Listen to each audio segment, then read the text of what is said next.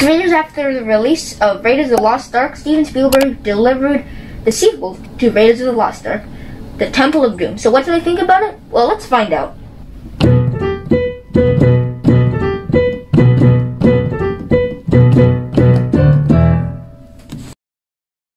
Hello everyone.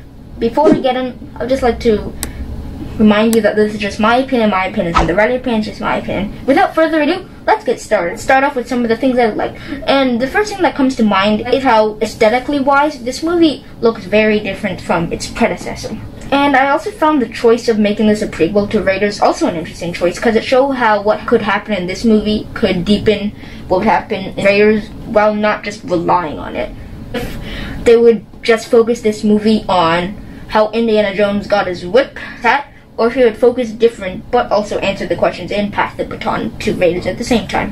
Which I find this movie kind of did well, because we kind of weren't 100% focused on how the events leading up here would lead into Raiders, but it's also kind of a flaw, because I find that the arc that Indy went through didn't exactly match with the start of Raiders. Raiders, he still wants money. He still wants money. Here, his arc is supposed to be about him fighting for the greater good instead of money. But at the start of Raiders, he wants money. What? And just letting a kid drive the car, I don't feel like here we got enough reasonings for that. So you need to pass the baton as well as create your own cohesive story. But still, the action set pieces here were beautiful. Some of them were really memorable, including a rope fight, as well as a minecart fight that both hold up very well. Definitely some of the shots and blue screen effects don't hold up that well. Some of them look like they're on a different color scheme than their background.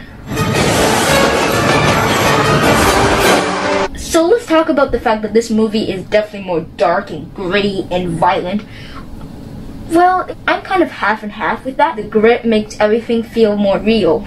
But the problem with this is they play it more for a reaction from us that makes us go, ew, oh, that person just died, instead of have really an emotional impact. If you want me to explain a bit more on what I mean, in that scene where that guy's being sacrificed, it's played as more of a horrific and gross scene rather than a scene that delivers on emotional standards. That makes this movie feel more nasty and mean.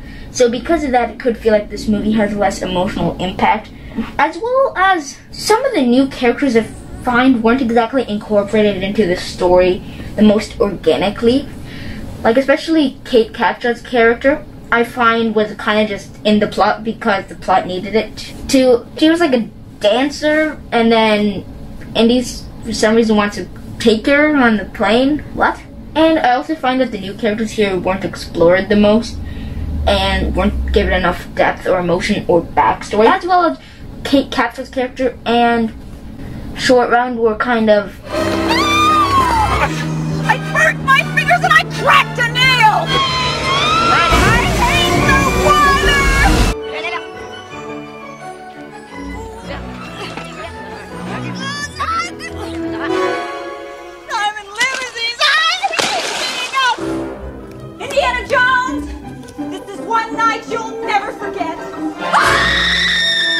Okie dokie, Dr. Jones, hold on to your potatoes!